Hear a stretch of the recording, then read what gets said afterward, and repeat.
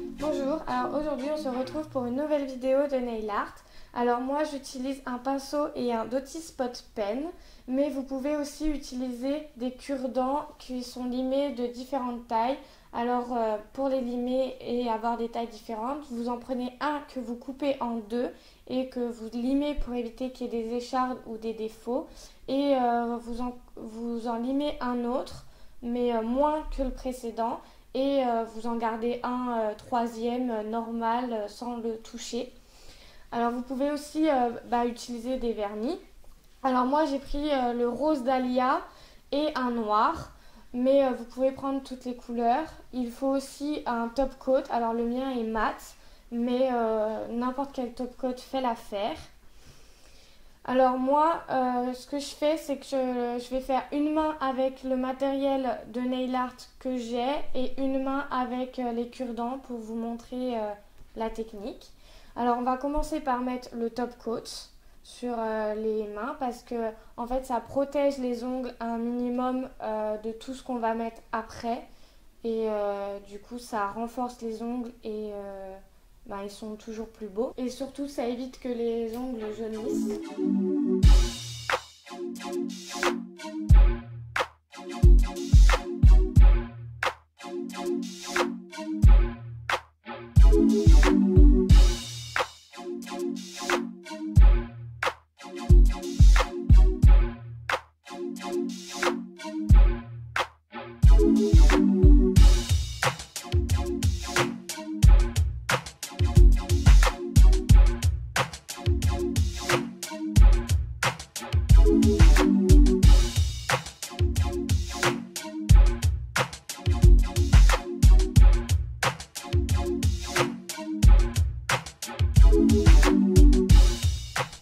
Alors une fois le top coat bien sec, nous allons rajouter euh, pour ma part le rose dahlia, mais pour vous euh, bah, la couleur que vous avez.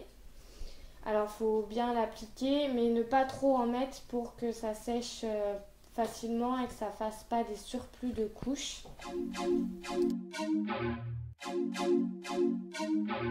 Comme vous pouvez le voir, j'ai failli mettre mon vernis par terre.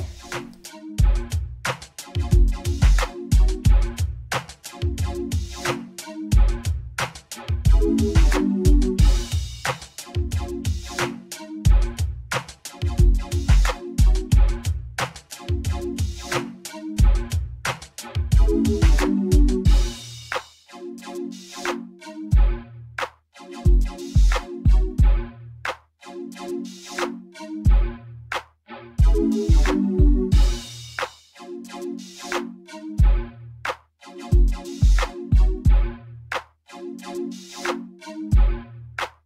Une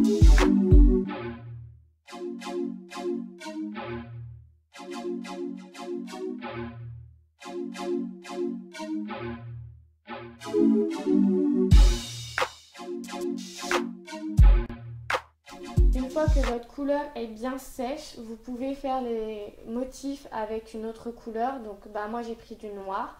Donc vous pouvez faire comme euh, vous le voyez un trait vertical sur l'ongle.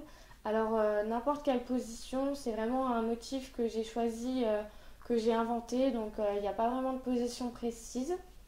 Après n'hésitez pas à vous y reprendre à deux fois parce que le premier trait est rarement bien réussi et il faut corriger les défauts.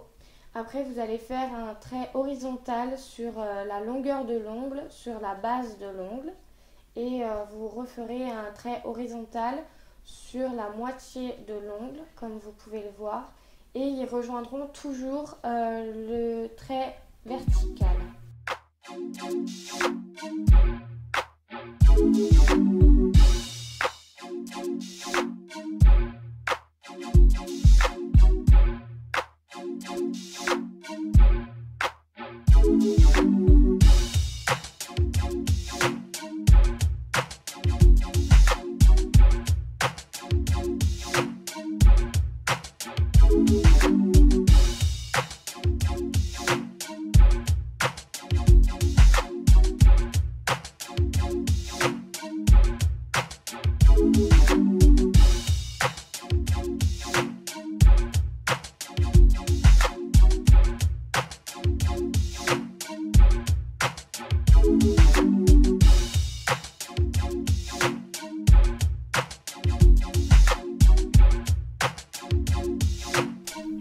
Voilà, alors ma première main est terminée et euh, je vais euh, commencer la deuxième main avec euh, un cure-dent.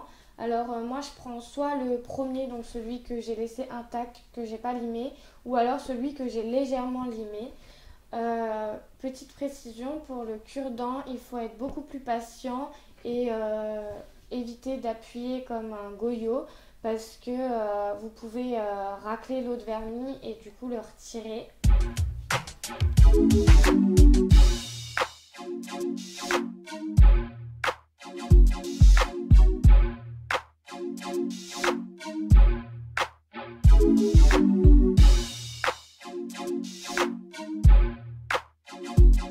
Donc, comme vous pouvez voir, je fais toujours un trait vertical, donc à peu près à la même distance que euh, la première main, même si c'est assez compliqué mais euh, voilà, c'est vraiment le nail art, c'est de l'approximatif. Mais euh, c'est pas si compliqué quand on a la main. Et il faut pas hésiter à recommencer, bah, comme je disais, euh, faire les traits à plusieurs fois. Surtout avec le cure-dent pour éviter de racler donc, le vernis. Donc il faut pas hésiter à mettre plusieurs fois du vernis sur le cure-dent comme vous le voyez et et à appliquer très légèrement. Donc quand vous aurez appliqué euh, le trait vertical, vous ferez l'horizontal, excusez-moi, qui pareil englobe la base de l'ongle, euh, donc qui fera euh, tout l'ongle, et un second qui fait à peu près la moitié de l'ongle et qui relie le, trait, le trait vertical. Alors je ne sais pas si vous le voyez, mais depuis tout à l'heure, il y a un petit moucheron qui se balade sur mon plan de travail. C'est assez génial. Donc voilà le rendu final sans top coat. Euh, donc il euh, faut bien laisser sécher et on va entamer après la dernière étape qui est le top coat. Donc voilà, nous allons appliquer le top coat. Alors le top coat à la fin sert à euh, protéger le vernis des chocs que bah, des chocs de tous les jours. Alors je m'excuse pour tous les changements de plan que j'ai fait. Dans cette vidéo, j'ai été la reine pour changer de plan. Alors voilà, donc euh, nous allons finir le top coat et bien le faire sécher pour éviter toute trace. En tout cas, si cette vidéo vous a plu, n'hésitez pas à vous abonner et à liker cette vidéo. Et on se dit à très vite dans une prochaine vidéo.